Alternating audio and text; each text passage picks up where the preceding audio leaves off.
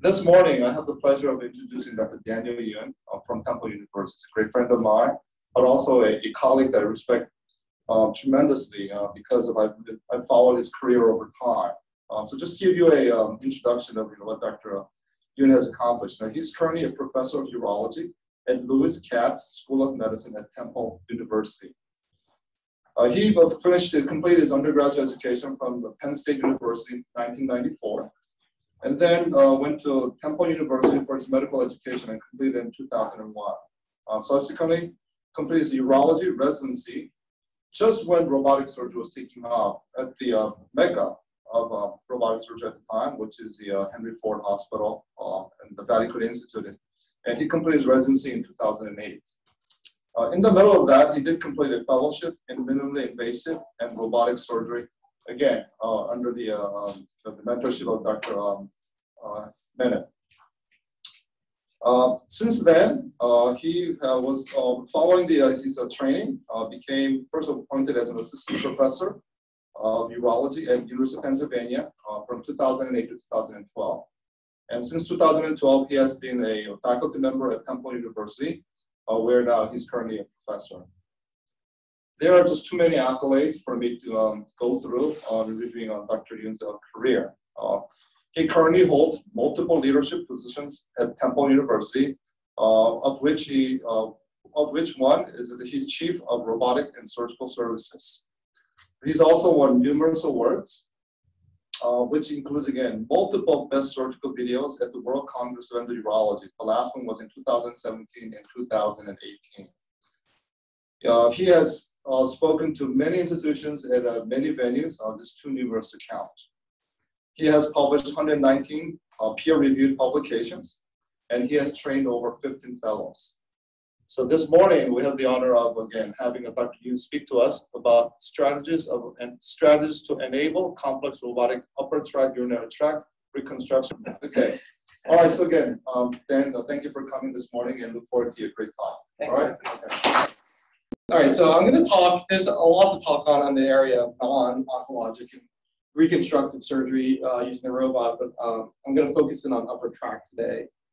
Um, you know, what, uh, uh, what Isaac didn't tell you was that, you know, I kind of went through state school programs and uh, I matched for your, I, I, applied for urology. I actually um, never, I didn't match the first time around. I was heartbroken. I decided that I was going to dig in my heels and this was what I was going to go after and it's just uh, it's funny how things work out, right? You're, I ended up really blessed to be at the right place at the right time, and was at the Vattikuti Institute right when robotics was starting to break out. You know, Ash was my chief president, and uh, Ketan Badani was like a year in front of me, and just everything just happened so quickly after that. So uh, I feel like uh, you know somehow I found myself in this incredible journey, and um, and so I'm just very grateful. So uh, I grew up in South Korea. This is my older brother on the left uh, locking me up in the chicken coop. Um, my father was a physician in kind of post uh, Korean War era time. Korea was very poor at the time. And through various life circumstances, he ended up becoming a missionary physician in the West Bank, Palestine. And that's where I started my childhood. Uh, we lived in the West Bank near Hebron and near, uh, in Bethlehem for a while we uh, would commute uh, through the checkpoints every day to go to school in Jerusalem. What an incredible way to grow up. So I feel uh, very, very uh, fortunate that I can have that kind of unique childhood background. This is my picture at the Anglican school in the old city in Jerusalem. And I'm still very thankful to my dad uh, for making those choices and letting, allowing us to grow up this way. so we uh, ultimately ended up in Philadelphia. And I always, I always looked up to my dad and wanted to be a physician in my heart. Uh, met uh, my wife very fortunately at Penn State, um, and I spent a year actually before med school just delivering pizzas, washing dishes, and just getting ready, you know, to see if this really what you know what I wanted to do. And I definitely realized delivering pizzas for a living was a very difficult way to go. So I went off to med school, um, and like I said, I didn't match. Um, I, I, did a surgical, a one year surgical internship at Pennsylvania Hospital. I reapplied and ended up going to Detroit in 2002 um, picture for my training. and I kind of jokingly say, although it's not really true, I, I got a residency in robotics, not residency in urology. There was just so much robotics going on at the time. We were doing seven prostatectomies a day. It was like drinking at a walk, like a fire hydrant. Um, we actually, all we wanted to do was actually not be in those rooms. And I just wanted to go to like a PCNL, you know, or see some other, you know, operation because we just did so many of them, right? Uh, and so every single chief graduating could do a sub one hour prostatectomy in those days. It was just incredible, right? so uh, leaving Detroit with this uh, unbelievable gift that was given to me, and then going off to the University of Pennsylvania for, for my first job, and you know, it couldn't be any. It, could, it was so different, right? Um, and there were both, you know, points of view that I really took to heart, right? My old boss was like, everything is going to be done robotically, and Alan said, hold on a second here. Let's let's just um, be careful what we're saying, and let's you know you have to go by evidence fashion, evidence-based fashion, and carefully you know uh, figure out what we can do. And so uh, you know one was hitting on the accelerator and one was hitting on the brakes, and there were it was a good balance where I learned a lot from both. And over the years, uh, starting in 2008, I, I, really started applying the robot carefully to various disease uh, processes. And I stopped filling out this chart a while ago, but there's so many different kind of things you can do um, with the robot. So, uh, you know, robotic system as it's evolved over the years, as the platform has gotten more capable, I kind of look at it as, a, as like a, a uh, Swiss Army knife for lots of different uses. One of the things I was uh, fortunate enough to do, you know, when I was at Penn, and you know, always uh, in this mindset of running two rooms like we were in, in Detroit, the difficulty was running back and forth between two rooms was was was um, not good for the patients necessarily in some cases, but also not good for you, not good for training. Um, it's just you're barreling through one case to get to the next, and you're not teaching very much. And so um, we traveled around the country a little bit to look at operating rooms that were out there, and then we thought about you know really what we wanted to do. So we built. Uh, it took Temple one year from the time I signed my contract to design. Uh, we knocked out four operating rooms to build kind of this uh, command room where I would be able to, uh, you know, keep an eye on one room and allow the residents or fellows to go much further and uh, really uh, maximize teaching capabilities and opportunities and still uh, keep an eye on, the timing. And so we typically will stagger rooms. I tell all my patients about overlapping surgery, uh, let them know that portions of their operation may be done by a resident or a fellow, um, and then we try to integrate our junior residents with bedside with my PAs. So I have two PAs at one room that runs each room. This room is actually straight, but it looks bent because it's on, an iPhone. But this is, um, you know, the suites that we've been using. And um, I think this has really transformed in, in, in, our house, like how well we've been able to teach and the, the amount of intensive coaching that we can do um, and take them up further. Um, so, uh, you know, I've been, you know, I guess pushing boundaries and, and, and pioneering procedures and redefining how we do things, you know, over these years. And, and I feel like there's a, there's a foundation that you first have to have when you do this type of work with just really excellent training. You have to be honest with yourself and the patient. So I talk to the patients about, you know, like next week I have a uh, renal vein transpos- transposition for Nutcracker. You know, I've seen the videos out there. I've never done it before, right? I've done a lot of similar stuff. I've sewn, you know, graft on cable before cable thrombus, so I, I've talked to the patient about this. She knows and she's okay to proceed. But, you know, this is, you know, some sleepless nights, you know, some uh, anxiety that comes along with the job when you're doing things that are kind of outside of the box, right? Uh, it, it, you know, you have to be able to take criticism for what you do. Um, you know, you will have complications along the way and you will be under fire. And you have to, uh, you also have an obligation to publish and present. You know, so I've seen uh, non-oncologic robotic surgery just explode right now. And, and um, so almost have 50%, some weeks it's more than 50% of our work is non-cancer type of work. And so going on uh, further into this topic, you know, this is, you know, what upper urinary tract reconstruction used to look like. And uh, uh, this is, um, when I look at the various parts of the urinary tract, um, you know, for the lower uh, portion, you know, below the iliacs, you know, we have a little bit more leeway because bladder tends to be a big organ. You can mold it, you can pull it, you can bring it to the ureter. Um, but in the mid ureter and in the uh, proximal ureter, you know, you have very limited options. You know, traditional option before you go to like a big gun procedure, right? Uh, where you're uh, opening them up or, or potentially opening them up and and, um, and uh, the complication rates certainly uh, are there, or you're going to go to a nephrectomy option. So there's just, you know, when I was in the early days when I was trying to do these type of operations, I was really trying to make magic happen with very little options. And since then, we've been able to develop a lot of other procedures. Um, um, so the um, uh, three kind of uh, big modern concepts, uh, you know, and I say the first one very carefully, access with the robot. You know, nowadays we're going in on everything, right? We're, we're not really holding back, right? Um, and I think that when I say, say this, you know, I just spoke about this at the Mid-Atlantic, uh, you know, it really has to be done carefully in the right in, environment with people with the right um, experience, because there can be considerable damage that can be done, um, you know, uh, accessing a post-gunshot XLAP, you know, redo and after small bowel obstruction, you know, after radiation, sometimes all of it together, you know, you know, so, um, uh, and we do this all, probably almost on a weekly basis where we're busy porting and we're doing tremendous lysis adhesion, sometimes for several hours before we can get down to the playing field and get to work, right? Um, the other one is near infrared used in various ways, and we'll talk about this, uh, can be uh, used uh, to help you to find things that are very hard to find in some cases and to also figure out what has blood supply, what doesn't, give you some guidance in the operating room more than just looking at something with the naked eye and saying that looks pink or that looks like it's bleeding. Um, and then using, um, you know, uh, reinventing old principles to new revised uh, applications. You know, buccal graft, you know, has been a topic in a lot of these meetings now. A lot of people are excited this reproducible uh, technique uh, appendix uh, in various interesting ways, uh, and even trying to reinvent ways that you do uh, reimplant. I did a side-to-side reimplant on a re, re revision reimplant uh, last week. and so, you know, with the changing technology, ch changing capabilities, increased capabilities to do some of this stuff. This is a slide from my AUA uh, course that I give with Raju Thomas and Lee Zhao and Mike Stifelman, but it's just like really looking at what we can do robotically here. And essentially, I, it doesn't have to be robotic. You can do the same options proven as well, right?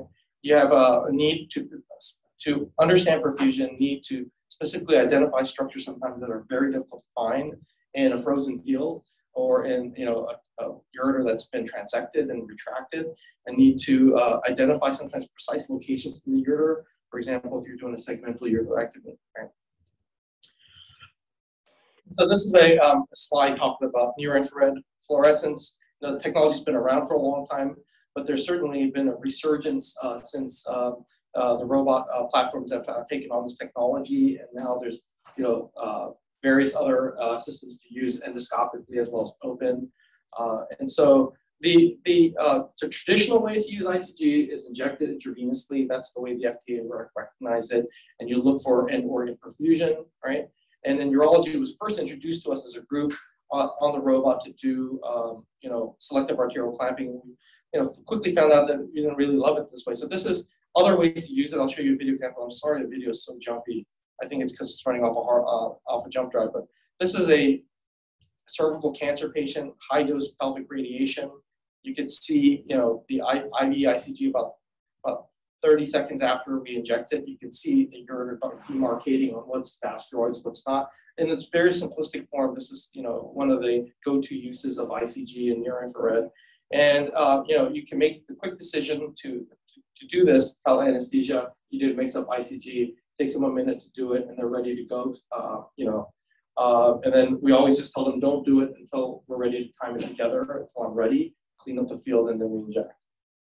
So I think we're going to have some video jumpy issues throughout um, because it's running off on jump drive. But this is a cystectomy patient. I'm about to do an intracorporeal urinary diversion. That's the left ureter I'm looking at. You see a little bit of uh, ischemia on the left side, but look at this right ureter, right? So get four to five centimeters of this ureter is going to be non-viable. But if you look at it under color vision, it looks completely normal, right? Um, and so, uh, you know, I've been shocked in some of these cases, you know, and it makes sense, right? I mean, the ureters are coming off the internal, the blood supply for the ureters coming off the internal. You've divided it around that location. You've pulled it up and you're trying to extend the ureter uh, uh, uh mobility. So you're going to, to really dissect up along that ureter. And so sometimes in some ureters, that blood supply doesn't exist, right? Coming from the mid uh, ureter, upper ureter section. And so you have uh, a, a, ureter that's not going to do well after you sew it in, right? Um, this is a patient who um, had double level huge strictures. and we did a robotic ileal ureter. This is the anastomosis to the renal pelvis. I was nervous because I thought I measured it right, and it sure looked like we stretched it a lot to get it from the bladder to the renal pelvis. So I'm going to check perfusion. So about 30 seconds later, we're seeing, yep, the renal, the pelvis and the, the anastomosis at the, uh, the ileum is, is good. And you're looking down toward the bladder. You know, the bladder side perfusion is great. So I get peace of mind. I didn't overstretch this thing. We're not going to have like a suture that's going to break down. And so some, there's many, many different ways. I mean, I have banks of video that I could show you guys, you know, various interesting ways to use it.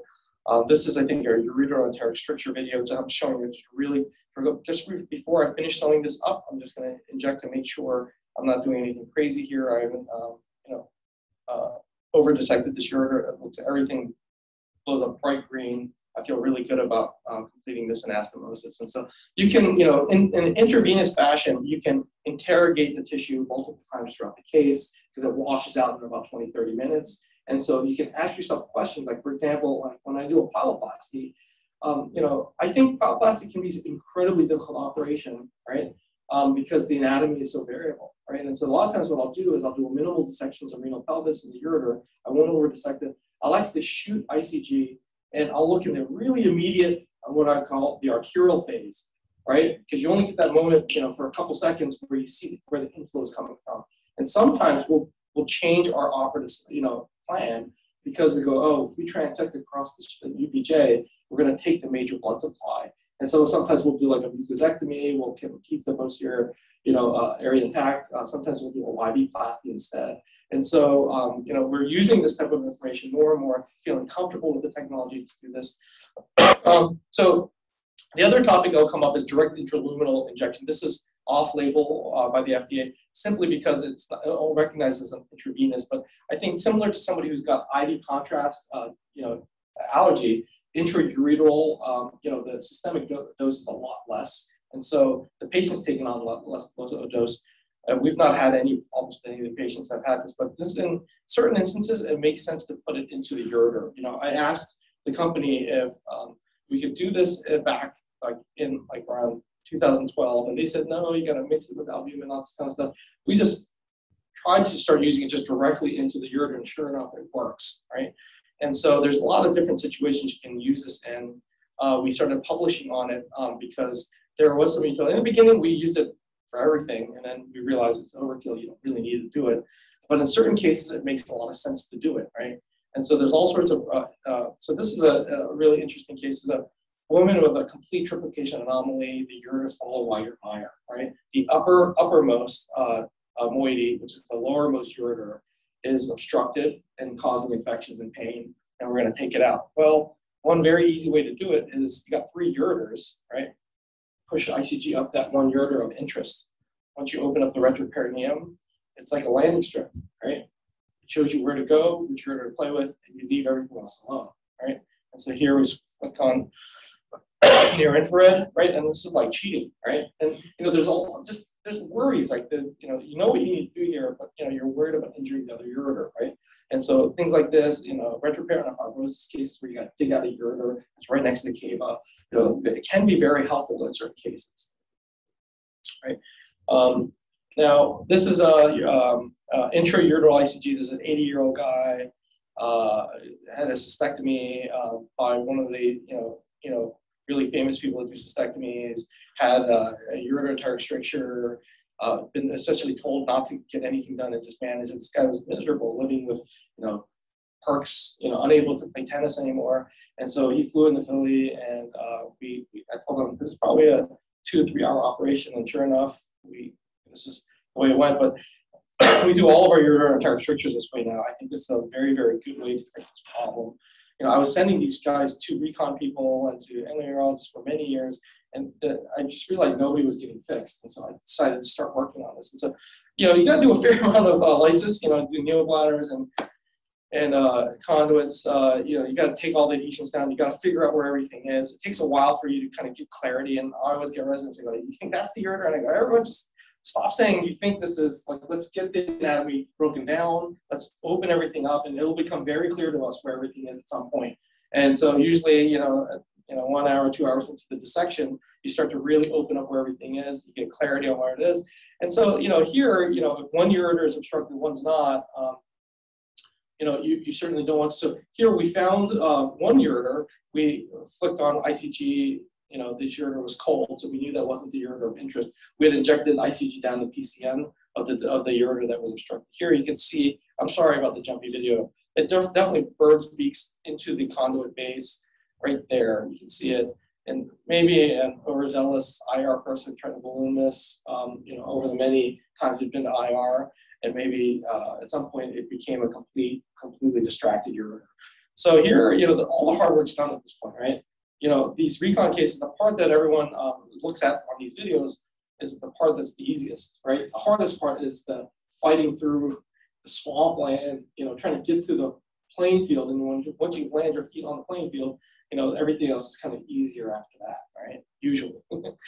um, right. And so uh, this is a case, uh, interesting, this guy, uh, low-grade ureteral tumor, had been endoscopically managed, recurred three times. So I went in, so this is my chief residence got a uh, ureteroscope. We're using ICG without it, I'm sorry, we're using um, near infrared without ICG, right? We're and so what I'm doing is I'm poking my needle into the ureter under visualization to make sure I'm just above and just below uh, the, the ureteral tumor. And so we're taking this out. And I thought we were going to be able to do a UU. Look at this, looks like a centimeter, centimeter and a half. Sure, no problem, right? Well, not always, right? So we, we try to put this together. I was pulling and I felt like there was way too much tension on there. So we went to uh, plan B, which was an appendiceal interposition, right? And so here we're taking the appendix, um, I'm shooting uh, ICG in near infrared to look for uh, appendiceal blood supply, making sure I don't mess with that, right? And so we're amputating. You typically need to do a nice cecopexy to stabilize the rest of the uh, uh, the uh, cecum in the blood supply so that it's nearby and not on stretch, right? And so I'm, I'm like opening and I'm like, where the heck is the lumen? And what I realize is this is one of the appendices that is obstructed, right? So what I do is I go to plan C, right, which is now, let's do a back wall uh, augmented uh, ureter ureterostomy. So just put the back wall together under some tension, right? And I'm just gonna open this appendix and do an onlay, right? So we went from plan A to plan B to plan C, which, um, you know, it's been super helpful to have my partner, Mike Mitro. He's a properly trained reconstructive surgeon, he's a GRS guy, who kind of whispers in my ear and you know can give me pointers and it's I'll tell you it's just been um, so different having a recon partner who's interested in this stuff uh, that that comes in and out of my rooms. He operates next door to me, so on Thursdays we do crazy things together, uh, and I always look to Mike for valuable insight. Um, and so um, in this case, you know, it's nice to be able to have multiple options at you know on the table, so that sometimes when things don't go as planned. Um, you have other options to go to. And so uh, here we're checking ICG and all this, and um, it ends up uh, that we finally uh, have a nice solution for this guy, and he's done very well since. Um, so to uh, summarize, you know, the three different ways we use near infrared, there's an unlabeled intravenous, there's an off-label intraluminal, I mean, you can put this into the bowel, you can put this into neobladders, you can put this into, you know, conduits. There's a lot of different ways. And it's just understanding how this technology works, I think that's helpful because it just puts ideas into your mind as you're thinking through troubleshooting how to do a case. You know, my caution with intraluminal, you know, is that, you know, once you spill it, it smears everywhere, right? And so, um, you know, I don't go to an intraureteral very rarely these days. You know, um, the, the type of cases is where the anatomy is like impossible to find, right? That's where it'll help. Most of the time I'm using, you know, option number one, intravenous. But there are some times when intraureteral can be incredibly helpful because intravenous will light up everything that has perfusion. Intraureteral is that lumen only, okay? Um, and so, uh, and then the last one is, you know, just using light from the scope can sometimes be a clever way to use it. Uh, I know my uh, colleagues, uh, you know, Stifelman and, and Zhao like to use the ureteroscope version a lot more than I do. so I put this picture up here. One is because I I like to um, tell people to be very cautious if you're applying dual Boari flap on somebody with high dose radiation, right? And this is the picture of, uh, still know her name, breaks my heart every time I look at this picture. We, we, she's post radiation. Um, she had a failed reimplant. Um, uh, I actually was involved with that failed reimplant, and then um, she came back to me, and we did uh, this. And this was in the early days when I was trying to figure out how to use ICG. And I shot this. I shot. I snapshotted this, um, and uh, I didn't know what to do. Right, I'm already carved out the bar. Right, and uh, and so what are you looking at? You're looking at a cold flat. Well, I didn't know what to do, so I shrugged and I finished it. And like five days later, six days later, she came back and the whole thing had broken down. And it was like two year mess of like building her up nutritionally just to get her to the point where I could send her to my partner to get this cystectomy. Right. So, you know, the, uh, my lesson here is I've learned over, over the years to trust the ICG signal and to make smarter decisions based on it. Right. And so uh, going on to um, uh, uh, buccal grafts, you know, uh, Dr. Naude in South Africa really, you know, is credited for the first person. Um, he's a reconstructive surgeon that, that took the uh, buccal graft and the ureter and put them together. And it's like almost like nobody, you know, there's a few other people that did some minor work in this area, but it really kind of was forgotten, right? And, um, and it was Lee Zhao that came uh, firstly out of Allen Morey's training program and had all these uh, crazy ideas. Lee, as I found, has become one of the most brilliant urologists that I've ever come across. And he is a bit crazy, right? And he was like, yeah, we should do this robotically. So they started. And I remember going to uh, the WCE in Taipei, and I was, um, it was so hot, so humid. I was so annoyed and walking through. And I remember walking by um, Steffi's poster, and I looked at this, and I looked at this, and I looked at this, and I said, oh my God, this is going to change everything if this is real. So I found Steffi and I was like, you know, literally, is this BS? Like, is this for real? He's like, Dan, no, this we've done before. These guys have all done well. I think this is real. So I flew home and I, I had a urinal reconstructed case the next week and I did one. And I was like stunned. I was like, this is easy to reproduce. You know, this guy works out. And so I called him back and I said, we're going to be friends for a long time, you know, because this is like an incredible option. And so since then, we've all merged our series together. We have or just at about 100 buccal grafts. We've done about 50 of them at Temple. Um, and so um, since then, we've done a lot of work together, you know, just at our own institution as well as multi-institutionally, and won numerous awards for this. And we really, I really do believe like we've moved the ball forward um, in the world of urology because we've been able to fill in the middle, right? The people that, that um, we're trying to avoid giving huge operations. So, you know, um, I used to do ileal ureters, you know, from time to time. I can't even remember the last time I did one. It's been years, right? Because we've been able to have other solutions.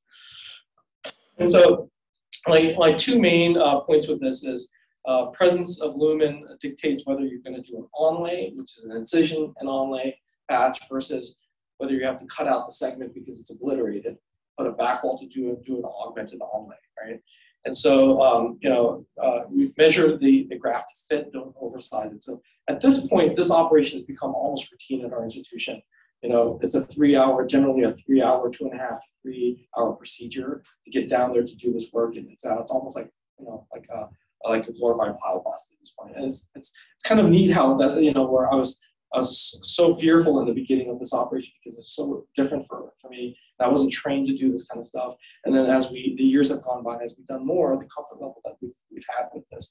And so we've been able to put um, um, uh, some of our data in. And, you know, instead of uh, just publishing now, we can do it. These are results. You know, there's some more interesting ideas that are coming out of this. And so, the, the you know, for urethroplasty, I've always watched my partner you know, oh yeah, take the catheter out, let that uh, stricture mature, right?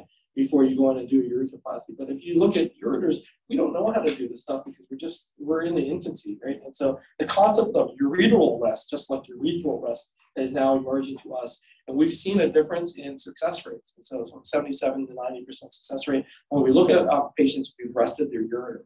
So now I routinely will um, either pull the stents out if the patient can tolerate and not going to get septic or, or, have agonizing pain, or we'll park them and remove the stent. We actually have this whole thing with uh, OR IR where we'll actually leave a ureteral catheter in, send it down to interventional radiology with the ureteral catheter in, so they can do a one stick perk, and then they pull the ureteral catheter out. So we've kind of protocolized this because we do this so often now. But we, I try to do this routinely for everybody to give them a three to four week period of uh, ureteral rest. Um, Eric Cho published this, and you know when we look at uh, uh, uh, the uh, the stricture length uh, when we're um, doing preliminary studies, you know we realize the actual graph length is usually about 50% longer than what we estimated visually to be, and that makes sense, right? You typically will cut a little bit more to get make sure you're into the open part of the order, so the the actual graph is a little bit longer than what you estimate the stricture length to be.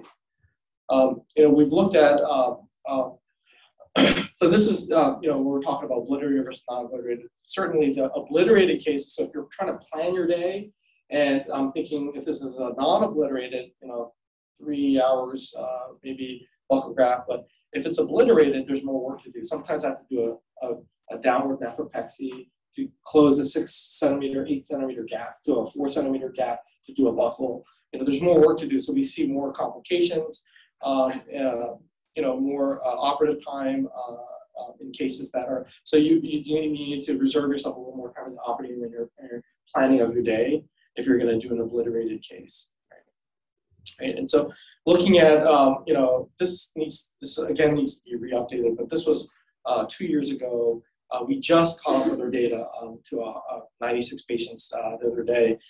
I'm trying to put it in for the AUA, but um, you can see our success rate uh, for uh, clinical and radiologic um, at that time point was 94% for everything. Um, and uh, we looked at even longer uh, like strictures um, for, uh, so, I mean, we compared um, some cases that were just UUs and uh, ureterocalycostomy as well as buccal graft. Certainly, we found uh, great success in the buccal graft. Um, uh, uh, this is overall looking at long, long strictures, uh, but uh, patients who did not go uh, under a buccal graft and went under UU had higher failure rates. All right, so this is one of my early cases. This guy got hit by a truck, um, basically ruptured uh, his mid-ureter, um, had an ex-lap splenectomy at an outside hospital, um, and uh, had uh, transected ureters that I had to find. The only way I could, if you look at this ureter, I mean, it is fused into there. I can't see it.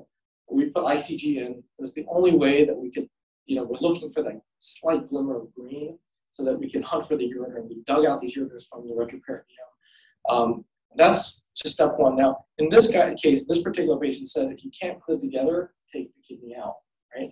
And, um, and so here, uh, what I'm doing is I'm actually going straight for a buccal, And, um, um, and so you will notice, and I don't normally do this, I actually spatulate anteriorly on both ends, right? Why? These ureters are super retracted back. I've got, there's no way I'm going to put these cut ends together. And so I realized what I'm going to have to do is a very aggressive downward nephropexy to try to close this gap. If I can do this, then it's going to go if it's not, it's going to be a nephrectomy, right? And so we've anteriorly spatulated. Um, I rarely do that first. And here we're doing a complete, you know, downward nephropexy. It takes a good, it's a 45 hour commitment to do a full um, downward nephropexy to get the thing completely freed up. Uh, here we're burning bridges, we're taking the perc tube out. And, um, you know, Allen Morey's published on, you know, downward nephropexy gives you about four to five centimeters of mobility. It sure does, right? And so here we're um, you know, three points of fixation. I use a sliding clip technique um, to, to pin it down that way you're not trying to tie knots under tension. And here's a, a measurement off the lower edge of the liver. We've got about five centimeter mobility of this thing. So now I got one shot, moment of truth. Will this ureter come together or not? And so we try, and now with this adjunctive maneuver, we're able to finally put the back wall together. And so this is a go, right? And so this is now an, uh, an augmented onlay, right? And so um, you know, I know this is one of my old videos because the stitch is blue. That means I'm using PDS. I don't use PDS anymore. I use 5.0 Monocryl now, just there's less memory. Um, and you can tell, you know, the, the buccal graft's also a little ugly. Our, our, God bless them, our ENT partners were, were giving us these grafts in the beginning because uh, Mike Mitra had not joined our institution. And so, um, you know, since then, Mike has done all my grafts for me. Uh, they're a little prettier and they're a lot faster you know, when you have uh, non-ENT guys getting your graft for you. And so it takes typically, Mike, about 20 minutes to go into the mouth. We typically don't even need a dedock. and he's just a wizard. He just goes in there, gives us uh, uh, really beautiful grafts um, that are tailored in size. They already pre put a pre-stitch in. We we cut a finger of the glove off. We put the graft into there with the stitch, and they hand us the glove intra-abdominally, and we pull it out. And we do that to kind of protect the graft from getting beat up uh, through the transfer process. And after we're done, um, I've done all of them with omentum. And so we wrap it with omentum, very careful and thoughtful about how you fix your omentum into uh, the retroperitoneum to keep, you know, the imbibition and inoculation process from, uh, from uh, to occur. And there's a few other, how much time do I have? Have I gone over? No, no. Okay, good. so um, there's so there's a lot of other you know um, uh, uh, cool things we've done, um, new concepts, and so this concept of non-transecting side to side um, is a way to leave the ureter intact and bring the bladder to the ureter. So obviously this has to be a defect in the ureter that is uh, low enough where you can bring the bladder to it. And instead of transecting across the ureter, right? Um, and why would we even do this? You know, so the things that we've realized, things that I've realized over time using a lot of ICG and ureters, is that uh, there's a tremendous amount of blood supply that goes up and down the ureter on the axial blood supply, right? There's typically like two arteries that are running up and down the ureter, right? That we can see on ICG. And the, especially for the radiated patient, you know, what I always fear is that you cut that ureter at that location, and then you've taken the major blood supply going down to up, right, off the internal iliacs, right? And um, and then you're going to take a stricture and extend it, right? That's what I was worried about. I've seen it a few times. and so uh, we started doing these side-to-side reimplants on, cases, especially, like I've done it in non-radiated patients, that works fine too. Um, I just did one, you know, on a guy that uh, had a crazy revision reimplant that we had to do after a field psoas hitch uh, in Boari. We did a nice side-to-side uh, last week, but it's just a, really, I think, a good idea in radiated patients because even though you're just been burnt up by the radiation effect, you can still see blood supply coming up, right? There's still intact blood supply in some cases. So, uh, so we started doing this, and this is a, a case, a 72-year-old patient, rectal cancer, high dose pelvic radiation, chemotherapy, APR, still has a colostomy. We're working around the colostomy to this case. So he developed an eight centimeter distal, I guess this video is not right, um, eight centimeter, uh, you know, stricture it's a complete ureteral obliteration. Um, we placed that PCN tube. And you can see, you know, the anatomy there. Um, and so on this guy, um, you know, we, are going to show how we do a, and, and you can really see the anatomy here. So I'm testing out the ureter. You can see, I'm sorry for the jumpy video. You can see that, you see that axial blood supply. You can see blood supply coming off the internal iliacs, right, from posteriorly. We want to leave all that alone, right? We're going to identify where the ureter is, is transitioning from normal, healthier you know, tissue where the ureter is open. We can definitely see where it tapers down. It gets cold, right, off the ICG signal, right? And so what we're going to do, and luckily this guy had preserved bladder, you know, capacity, right? So that's got to be another component of this. And so we're basically mobilizing the bladder much like we would for a psoas hitch and uh, we're uh, bringing in as long as it, it, overlays on top of each other. We'll shoot ICG, make sure everything has good blood supply, and then we'll do a side slit on the ureter above the area of the transition point, and then open up the bladder, open it up, and then we'll we'll do a reimplant this way, a side to side reimplant. Therefore, what you're doing is preserving your uh, natural ureteral orifice and access for the wire, right? In cases where you know you might need to get up in there. Uh, but you also have a secondary opening as well in the new reimplant site right? So that's the idea of a side-to-side reimplant. If you hear talking about at the meeting, this is what we're talking about, right? This is the rationale for why. Um, and, and so um, I think in, in, certain instances, we just do a, normal reimplant, but whenever, um, you know, in some cases, it makes a lot of sense to do this way as well. But it's another option on the table.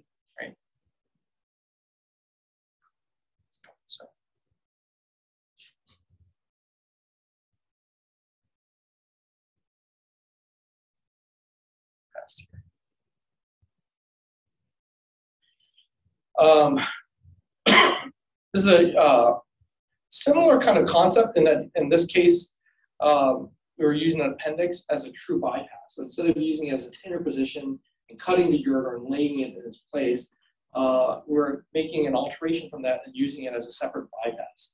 So in the same idea, we're trying to preserve the supply, the blood supply to the ureter. We're not going to transect across it, right? We're going to do a minimal dissection on it. We're going to find the area above the transition point, make a side slit, right? Now you got to bring the cecum over, you got to stabilize the cecum in this position, and you're going to basically roll the appendix out, right? And you're going to put the tip to the bladder at the dome of the bladder. And so the preconditions for this is one that's got to be right sided. The only time I've used an appendix uh, on the left side was on a, um, on a revision conduit where I had like a five centimeter left ureter that was crossing under the, the, the colon. That part had died, and I was able to swing over the appendix. so, but the, any kind of appendix procedure, it's typically a right-sided case. You're dealing with radiated tissue. You got a high distal stricture, and you've got a small capacity bladder, right? Classic picture, right? 150 cc bladder, right? You're not going to be able to bring this bladder up, right, uh, to any appreciable distance, right? The patient already has poor bladder uh, capacity. So on those guys, I'm really afraid to do some kind of aggressive mobilization and then put a tension psoas hitch and run a Boari off of that. That's just, you're just asking for it to break down. And so in certain cases, you know, where it fills these pre-existing conditions, we're able to offer them um, an appendiceal bypass. And so this made the, uh, the February journal uh, cover journal window. Um, and so I'll, I'll end, um, this is my, my last, this is probably the worst case I've ever done. I got a call at 5.30 in the morning by a urologist at Abington, which is our community hospital. And this is a BMI 61 lady that has a, having hysteroscopy and I guess the GYN didn't realize it perfed uh, the, the uterus wall and pulled out 18 centimeters of ureter, right? There's no renal pelvis here. So I thought I was going to do an ileal ureter on this case. And sure enough, there's no renal pelvis. This whole thing's been plugged, right?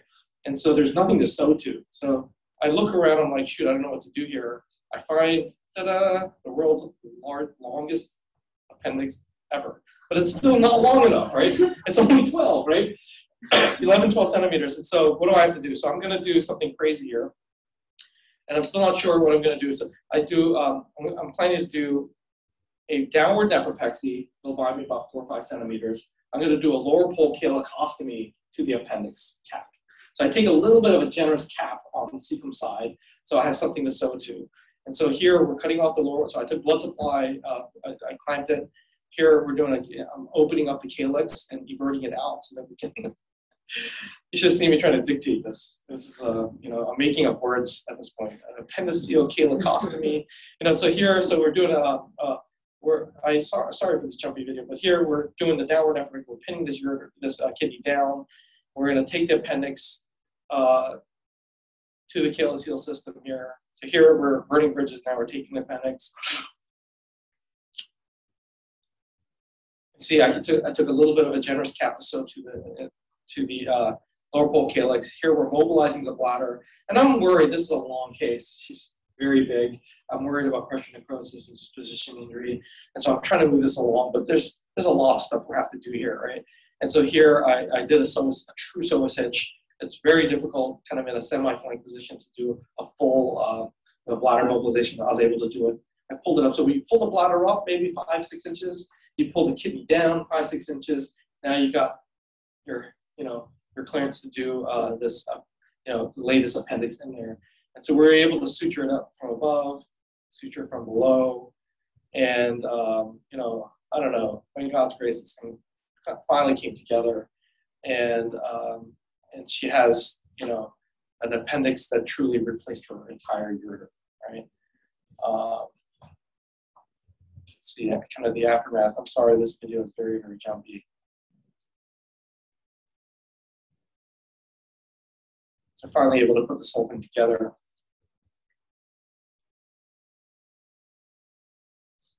Luckily, we woke her up. She did really well, right? She didn't have, you know, any positioning related issues. This is the way we typically run stents up from uh, any kind of reimplant. Um, uh, we'll just push the catheter all the way up. We don't need to use a console or anything. Just bend the tip of the Foley, throw a wire through, and then throw a stent up from below. Is the most reliable way to place a stent from below. And so here we're sewing it up. Um, that's our appendix in place with the stent in. here I'm just doing a little bit of like uh, a psoas hitch with a bladder fat flap, just to give it a little protection here. And you can see what our retrogrades look like uh, six weeks post-op. Uh, her renal scan that we, we typically run a renal scan in six weeks after stent removal, two and a half less than five minutes. She, we, you know, she was diabetic. You know, we you know she, we really try to save this kidney at all costs, and it worked out well for her. She has stable renal function. I see her once a year. She gives me a big hug. It's awesome. All right, so I'll show you something crazy. Um, so this is a, um, a uh, back when I was at Penn with the neurosurgeons, I was co-docking the robot um, with the CR, and we were doing anterior inner, inner, inner body lumbar fusions at L4, L5, and L5 S1, right? And um, uh, this was like when I did L5 S1 with them, it was uh, easy. It's like getting the sacral promontory, and then with dedock the robot laparoscopically, would drill down into the inner space and put these cages in and put bone morphogenic protein and allow the, the and, and in the beginning I was so skeptical about this and then I saw um, how well patients did. And then you know they come to me a few weeks later and go can we do an L4 L5 it's completely different. You got to completely mobilize the cava completely mobilize the aorta. You can see what I'm doing here. I'm putting slings under the aorta at the bifurcation so that my bedside assistant can pull on these strings and uh, we can split, you know, part the waters in the middle so that we can drill out L4 This is very dangerous, right? Um, and, uh, you know, and so this is what, what, the procedure looks like. We're now laparoscopically drilling down onto the spine. These neurosurgeons don't do anything laparoscopic, so I'm essentially doing the whole thing for them. Their hand is just touching the equipment, and I'm just turning it for them. And so we're doing all this, and um, you know, I was very proud of myself back then. You know, I was like, you know, young buck surgeon trying to make a name. And uh, we did about 16 of these cases. We did, you know, well, thank God we didn't injure anybody. Um, but then nobody else could do this afterwards. Like all these, uh, the, the, the, general surgeons looked at this. They're like, oh, I'm going to do this after you leave because I was going to Temple. And, and really, this, this became relatively irreproducible because the, the, the difficulty of this operation um, was, so much. And so I learned some things about this. I spent a lot of time developing this kind of work with them. And that, um, you know, these, these procedures that you're developing have to be reproducible, has to be translatable to, you know, if you're, if you're able to do something so extraordinarily difficult, right, that not a lot of people can do, it's not really a contribution, right? And so I, I, the lesson I learned from this is like, you know, focusing on things like buccal graft, those kind of things. The reason why I have so much um, excitement over that is because this is reproducible. This can be done. I've had so many urologists from across the country, and academic and private practice, come to me and say, I've been able to do this and it's been a great, you know.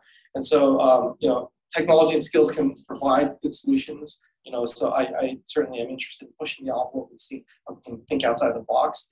But it, these things have to be teachable, reproducible, and uh, and uh, and that way the common good is is, is delivered to everybody. Um, so I say be inspired, be humble, be passionate, change your world. It's from a guy who didn't match for urology first time around. So this is uh, I do a one-year advanced clinical fellowship, uh, advanced robotics. This is Ziho who was one of my residents that took the fellowship on, and we traveled everywhere. This is our first buccal graft in um, in China, uh, in Zhengzhou, the world's largest hospital, 10,000 patient, 10,000 beds hospital. Can you imagine? 10,000 bed hospital. And uh, it was so funny because they do all their grafts lingual grafts. Right? The Beijing guys flew this patient in. This is a patient had multiple failure, redo operations. And so as a six hour procedure, we worked until like midnight.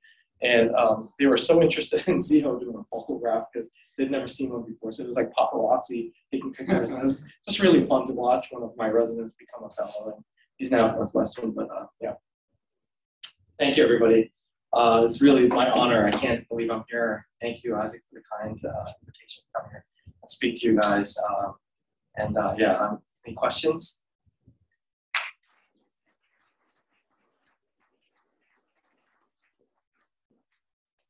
Presidents have any questions? Sure. When you're when you're doing you know these very complex reconstructions on patients who have had you know prior ex-laps and you're doing these robotically, where are you actually getting your access? it's always um, a point of debate. Um, so I, uh, it depends on the case. It looks, it depends on, you know, we look at the, I have to kind of do some amount of reading the abdomen to see what I'm looking at. Um, you know, I won't, you know, obviously we'll move away from the incision site and come in. A lot of times I'll try to Veress in um, from a different site, and then I'll look and see where I want to bring in the camera. We typically will put in a VisiPort 5 or a robotic 8, um, you know, with the camera, or the 0 degree 5 we'll find ourselves in. Now, many of these cases, you've got like cobwebs everywhere, right? Everything's stuck to everything. And um, and there's a lot of these, I actually use a, you know, a technique that I've just been working on my own, just using the five scope and doing a scope lysis and breaking up, you know, what looks like it's safe. And, and then with the goal of getting, you know, um, two more robotic ports in. If I can get two robotic ports, especially on an XI system, Yeah. it has so much range of motion that when we when we see the second robotic uh, port go in, we know it's a go, right? And so the um, you know the lyse adhesions on the robot is just much more rapid, much more precise. You know, uh, sure we get serosal, uh, you know, separations once in a while, it's just go. But um, I'd say that like you know maybe once or twice a year we get a bowel injury. Um, you know, but with the amount of volume of these type of cases that we're doing, I think it's pretty good. Yeah. You know, um, and these patients otherwise nobody's going to touch them. No one's going to touch them. So uh, we feel like you know the mission for us is to try to be able to give people who are given no options and told they cannot be fixed. A lot of these are young people They're living out their lives with stents and percs and living in pain. You know, one of the guys uh, become a friend of mine. You know, literally was watching his kids grow up. He couldn't play with. He couldn't tie shoelace. You know, and gone to a lot of big centers, flown around, and then we fixed them. And now, like, you know, I see him probably once or twice a year. He's like a new guy. He's like running his business, playing with his kids, and wrestling with them. And it's like it's changing these lives for people that really didn't have any other option. That makes this type of work so gratifying. You know, you think cancer patients are grateful? These guys are really, really grateful. You said for the, uh, like, the size to fit. Um, so like for like augmented onlays or something, how does that impact your, you know, outcomes if it's excessive? Yeah, I always say like an Armani suit, all right? Make it size, you know, size to fit. What what I realized in the beginning, you know, you know, I didn't know how these were going to go. In the beginning, I was nervous. I made them a little larger, 30% larger. What we found is that um, they balloon out, right? Um, they balloon out, and so I think you know when you if you tightly put omentum, you know, you know, over that area, it probably will help give it some support. But um, I got one patient that that once a year, twice a year will pass like a crescent stone. I know where that's coming from. There's some stasis inside that that pocket uh, you know, aneurysmal area, and uh, so now I, I size them all to fit. Like you know, I don't worry about it shrinking. Uh, you said that you give patients renal rest before you, uh, before you do this procedure. Yeah. How, how much time do you know that you noticed before that the, the outcomes were better with rest? How much? Well, that's so that's we're going to look at that. So Stife, um, I think does like a week or two, right? So Not, not very long. Right, uh, yeah, and the, the last time we did a, a, a live case I was moderating, I mean, everybody jumped down his throat on it. But I, I, I was thinking to myself, like, do we really know? Like, you know, like, so Lee Zhao and I like to do the three to four weeks, but we don't really know. So what we wanted to start doing with the course database is start looking and seeing, is there a difference between, you know, like a 10 day versus a 30 day, you know, period of because I, I don't think we really know. When I was doing the uh, robot power classes, this interesting concept, I folks tend to have this intolerant. Yeah, I think we all see it, and we, most people make sense. But I, I think it's trying trying to turn from anecdote, you know, and like thought, like opinions, into to some amount of evidence to back up, what, you know, our practice. I think we have to approach this kind of more systematically, and so that's why we're been trying to start look at this. Did you ever consider a, a auto transplant for these patients that you can't? Um, there was one guy I attempted an auto transplant, but the vein was too short, so we had it all set up. The transplant guys would just take over as soon as I realized I didn't have. Like, um, it can be done. I think um, robotically, it's probably. I mean, look, if you're gonna do it, I think it's just better to just do it with the big incision, like the guys who sew them in. Now, there, the area of robotic transplantation is becoming more popular. I have not had any experience with it, so I think that in the right center, at the right place, um, it's, it's doable. But I'll, I'll say that I'll, I'll say this: the you know, in, if you have developed a lot of these techniques, those cases should be very few and far between? I mean, there is some complication profile, no matter what you do, that, that you're disconnecting a kidney and you're reconnecting a kidney. And that process, you know, um, there are some complications with that. The, the thing about buccal, and I know buccal doesn't fit all these things. Like you got a panureteral stricture, you got something else going on. But uh, the buccal graft, I look at it as like a free shot.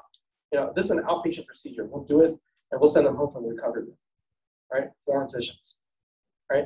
And so I feel like a buccal graft in most of these cases, even like double level buccals, we'll sometimes put above and below or left and right side, you know, uh, it's like a free shot, right? If that fails, then you can go to a, a, bigger procedure. But I feel like a patient should get a first shot where it's a lot less invasive, a lot easier to recover from, you know. Uh, and so that's the kind of where I see it is that you get one free shot at doing a buccal graft on somebody. Dr. Eun, this is Jaime Cavallo. I'm one of the uh, reconstructive urologists here at Yale. I really appreciated your talk. Um, I wanted to ask, you had mentioned about the pseudoaneurysm that often forms using the buccal graft in the ureter. Do you think there's any role for buttressing the graft down to the psoas to help prevent that? Um, so I, I, I, think that one of those cases were done uh, that way without omentum, but uh, and so I think uh, Lee Zhao and Mike Stifelman, when Mike was at NYU, they did one case like that, where they opened up the psoas fascia and on the actual muscle fibers, they sutured down their buccal graft and then sewed the ureter to it. And um, you know that looks like a brilliant way to do it, but they told me technically it's just a real pain in the butt, right? So, you know, because now you got to pin down, you got to bring your ureter, so everything in your field is falling down. And that's the only one that they've ever done. And they said, no, nah, we're going to go to buccals from now on. So that tells that tells me something. Question from one of our endourology fellows. Um, do you know? Do you happen to know if the digital ureteroscope would work with the Firefly, or if it has to be a fiber rock, uh, a fiber ureteroscope? I've been told. See, at Temple, we don't have any digital ureteroscopes. So we don't have that issue, but I've been told by other people that have digital scopes that that light, for whatever reason, doesn't work well or doesn't work with near infrared. Good question. Yes. So um, thoughts on why there's a, a, uh, a difference in stricture rate between open and robotic uh, in, in open and open and robotic cystectomy. I mean, it's the theoretically the, the same operation, technically the same, but there's you know, the series all show a difference in stricture. What do you think that's due to? Um, that's that's a great thought. You know, you're right. I mean, I I've actually wondered about this myself.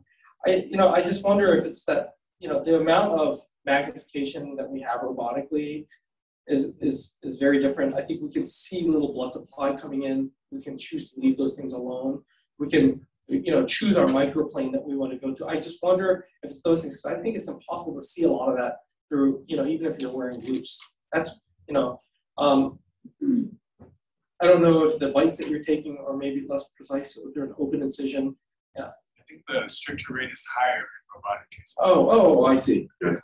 Actually, I'd like to comment on that. I think, Pat, that's old data. The newer data actually once you have a mature, um, you're over the learning curve, there's several papers that have shown that is actually not the case. Oh, you're talking about ureteroenteric strictures. Right. Yeah. Well, I have a lot of thoughts on that as well. I think that um, when you're when you're trying to do a ureteroenteric anastomosis through an open incision, right? You're trying to extend that ureter dissection as much as possible. You have that ureter under tension, right? And you're trying to sew through this tiny incision to me, it doesn't make any sense. I feel like just open it then, right, and sew it in. Um, you know, what I've realized is that I take my ureters and um, I do all of my work intracorporeally. I cut like five, six centimeters out, like ureter off, right? There's very little ureter mobilized, except for you know whatever crossover from the left side. But I cut, I trim a lot of it off because a lot of it's not necessary. And the more you cut back, the better perfused they are. And so um, in the age, I think, in a, like if you're doing everything intracorporeally, you're cutting your ureter short, you're checking your near infrared, you know, trim that back to where you needs to. You know, I, I think that we're going to see definitely an improvement in this area, right? But I think in the old era where we're trying to pull everything through an open incision, through a tiny open incision, yeah, that's a complete setup for failure. Yeah. Dr. Eun, have you done any uh, histology correlates between, uh, like when you have a ureter and you give the ICG and you see some ischemia and cut out that ischemic part and then maybe take a trim of the well perfused part and see how that looks differently under histology? We have not. Um, I, I, at some point, would try to, to chase uh, the pathology on the near infrared um, with the pathologist, and, and they needed you know, fluorescent scopes. They needed special equipment to look at it. To them, they couldn't see any of the near infrared. But I've not looked at the actual pathology, um, you know, uh, systematically on on these stricture cases now. Might be worth doing when you have extra length and seeing if there's a difference in density of blood vessels or diameter of blood vessels, or so you can see that there's some histological correlate to that visual. Yeah, it, it's definitely doable. It's a great idea. Thank you. Anyone else? Anyone on the call on the Zoom questions? Okay, well, thank you.